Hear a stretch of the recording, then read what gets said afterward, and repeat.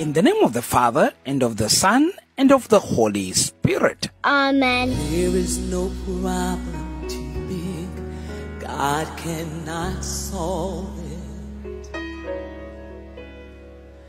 There is no mountain too tall, He cannot move it. And there is no storm too dark, God cannot it. For our good night message on this Friday, the 26th of March 2021, broadcasting from the Salesian Pontifical University, Rome, Italy, by your servant Father Eustace Siame, a Salesian of Don Bosco. We listen to this encouraging message in line with the first reading of today, entitled, The Lord is with us, and He will fight our battles. And if he carried the weight of the world upon his shoulders, I know my sister that he will carry. Today we read from Jeremiah chapter 20, verse 10 to 13. It was one of those low moments in the lives of Jeremiah. He had gone through a lot. Pashhur had put him in prison and he was even canned. After that release from prison, he contemplated even wanting to leave that ministry.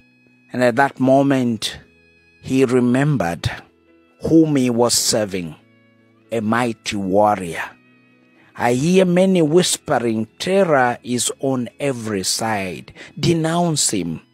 Let us denounce him. Say, oh my close friends, watching for my fall. And then he goes on to say, But the Lord is with me as a dread warrior. Therefore my persecutors will stumble. They will not overcome me. He sees the Lord as a dread warrior, a commander, the commander in chief, the one who knows where to strike, the Lord who knows exactly how to send an anti missile that is coming your way. He knows all the corners of the enemy. He knows how the enemy tries to bring us down. He wants us to know in whatever battle we are facing right now, whatever it is that we are fighting right now, He's going to fight for us. We leave it all in His hands. The words of the man of faith who was put to rest today, Joseph Pombe Magufuli, still ring in my head when he was in the church just a few weeks ago and telling the people of Tanzania that whatever the situation, however heavy it might be, they must learn to trust in God, to depend on God, to rely on God. The word, the Kiswahili word he was using is kumtegemea Mungu. Kumtegemea is like, you know, making God your pillar, something that you stand on in order not to fall. And this is exactly what we are called to be in the spirit of Jeremiah, recognizing that God is a mighty warrior. If you are in the heat of the battle right now, or if the enemy feels hot on your trail, please know you are not alone. Not ever. You might have lost your loved ones. You might be battling with cancer. You might be going through financial constraints. I want to let you know God is seeing all this. Neither are you left to fight on your own. I want to let you know God is seeing all this.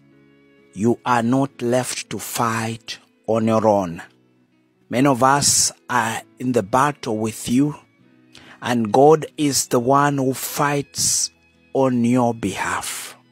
And God is the one who fights on our behalf, constantly shielding, protecting, strengthening, even when we are unaware. We never have to struggle to fend for ourselves, but He is with us, always covering us in all of our days. In the words of Jeremiah, a mighty warrior. He's given us His words that are powerful and true so that we will have the wisdom to stand strong against the enemy. We hear in His word in Deuteronomy chapter 20, verse 4 For the Lord your God is the one who goes with you to fight for you against your enemies, to give you victory. Is the one who goes with us. No matter how many enemies you are facing, social, economical, or physical enemies, God will ensure as you entrust your life into His hands that you become an overcomer. Romans chapter 8, verse 31 says, What then shall we say to these things? The troubles that Paul went through. If God is for us, who can be against us? Nobody.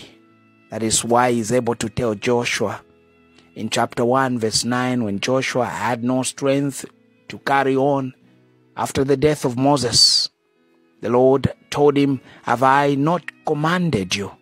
Be strong and courageous. Do not be afraid. Do not be discouraged, for the Lord your God will be with you wherever you go. He is with us, and He will see us through in the heavy battles we face in this world. Glory be to the Father, and to the Son, and to the Holy Spirit. As it was in the beginning, is now, and ever shall be, world without end. Amen. The Lord be with you, And with your spirit. and may Almighty God bless you, the Father, and the Son, and the Holy Spirit. Amen. Good night, and sweet dreams. Same to you, Father. There is no sorrow too deep. He cannot soothe it. And if he carried